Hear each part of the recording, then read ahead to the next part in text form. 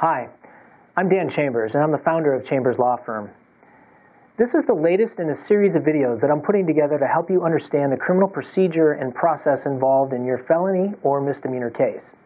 We've already talked about misdemeanors, and now we're sort of into the heart of a felony case.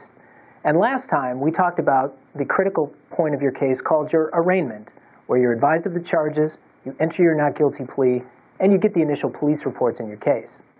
Today I want to talk about the next step in that process, which is called the pretrial and preliminary hearing phase of your case.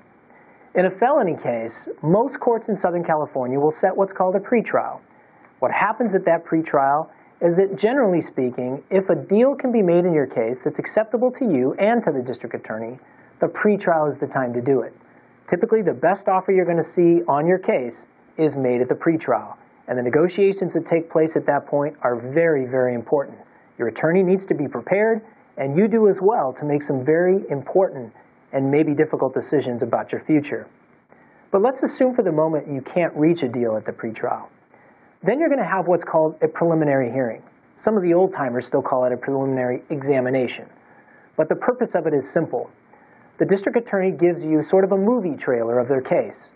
A judge listens to the evidence and decides two things. Did you commit the crime? Is there enough evidence to dis- establish you did? And two, were the elements of the charges against you proven by the district attorney? Now, it's important to remember it's not a trial. It doesn't mean you're guilty. In fact, the judge's standard is very low. It's probable cause. In other words, he only has to hear evidence sufficient enough that a police officer would have to have to arrest you. It's a very low burden. So don't panic if the judge holds you to answer. That's the technical term used if the judge believes there's enough evidence for the case to go forward. If he does find that, you move on to the next step of the process, and I'll cover that in my next video. I hope that this video has been helpful and informative to you, and more than likely you still have a lot of questions you'd like answered. We at Chambers Law Firm pride ourselves in effectively communicating with our clients and trying to answer all of your questions about your specific case.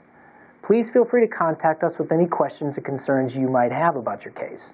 And for our prospective clients, we always provide a free consultation, and we have Spanish speakers available to assist you if necessary.